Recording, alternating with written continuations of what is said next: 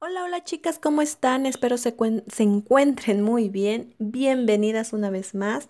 Aquí como ven les voy a hacer una reseña de estos pinceles que acabo de adquirir. Son los famosísimos pinceles de las gomitas que todas las conocemos así, estos pinceles.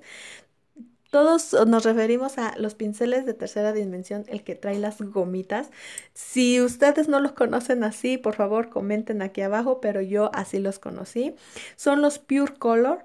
Eh, yo adquirí el número 5 y el número 2, que son para tercera dimensión, y los voy a estar utilizando en este texturizador que hice porque en mi página de Facebook eh, anuncié que a la primera compra que yo, eh, bueno, la primera compra que me hicieran de mis geles, eh, iba a estar regalando un, un, pequeño presente y pues este era mi presente y como a la chica le gusta muchísimo el color rosa, pues quise hacerle algo en tonos rosa.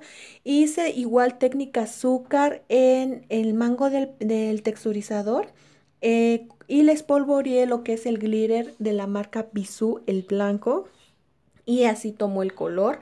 Y pues solamente estoy haciendo mi tercera dimensión y como ven ahorita estoy utilizando el número 5 la verdad eh, no la verdad a mí me encantó este pincel me fascinó porque eh, a pesar de que tiene muy pocos pelitos y que las cerdas son bastante largas eh, tiene capacidad como para tomar suficiente monómero para tomar perlas tanto grandes, medianas y pequeñas. O sea, es como que todos los pinceles en uno, por así decirlo porque eh, primero hice la pequeña flor morada y me permitió levantar la cantidad de monómero suficiente para levantar las perlas pequeñas.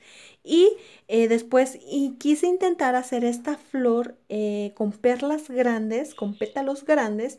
Y aquí como ven pues les estoy mostrando y aquí cambio al Pure Color número 2 para hacer los pistilos. Pero les estaba yo mencionando que me permite levantar perlas grandes y la verdad es que, eh, pues a mí la verdad se me hizo muy bien porque las cerdas son bastante, bastante duritas, o sea, no, no se doblan fácilmente, lo cual nos permite quizás hasta con el mismo pincel eh, dar la textura a lo que es el acrílico. Entonces, por la delgadez que tiene y lo largo, nos permite hacer eso. La verdad, yo quedé fascinada.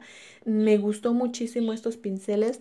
Yo no creía tanta, tanta maravilla de estos pinceles porque yo escuchaba maravillas de estos pinceles, pero la verdad es que a mí como me gusta la tercera dimensión, yo probé estos pinceles por eso. Entonces, pues sí, la verdad sí, chicas, son una inversión muy, muy buena. Yo aquí en la cajita de información les estaré dejando la información de eh, a quién se los compré porque he visto que los están dando hasta en 300, 400 pesos mexicanos y yo los adquirí cada uno en 160 y 150. Entonces pues también es una economía muy grande y es un pincel que realmente vale la pena. Entonces pues este es el resultado. Espero les haya gustado y... Eh, aquí les dejo la información. Nos vemos a la próxima. Bye.